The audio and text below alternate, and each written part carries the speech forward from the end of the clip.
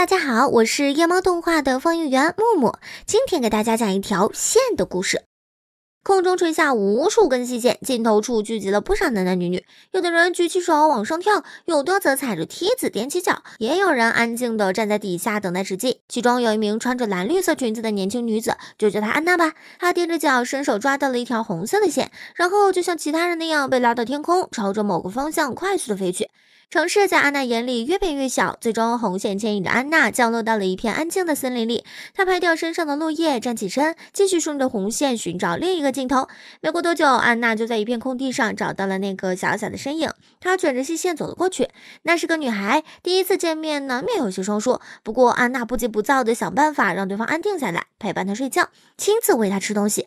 女孩也从一开始的刻意回避到完全信任安娜的怀抱。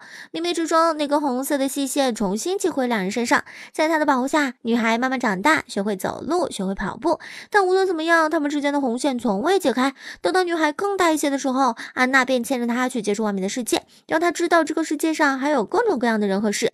不过这个时候，安娜也没有让女孩离开自己的身边，一直牵着或者背着，直到女孩长大成少女时，她才放任她去其他的小孩子玩耍。有的时候，安娜也会参与其中，只是这时她再也不能把女孩一直放在自己的保护圈里，任由她他独自去面对这个世界。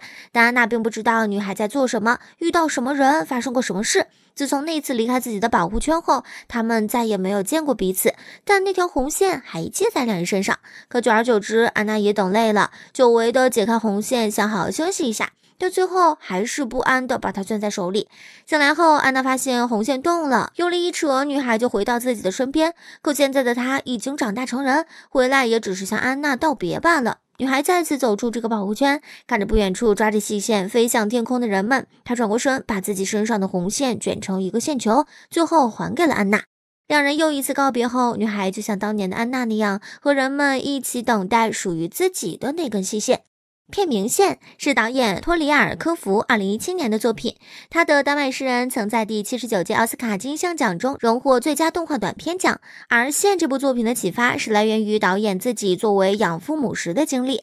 每个孩子都会长大，都想离开温暖的保护，独自去探索广阔未知的世界，这是每个父母都会面临的一件事。至于那根系在两者之间的线，其实就是他们难以割舍的那份爱，因为知道自己终有一天会目送孩子离开，所以会贪恋于细线带来的丝丝温暖。人的一生不就是这样的吗？好啦，我们下期见。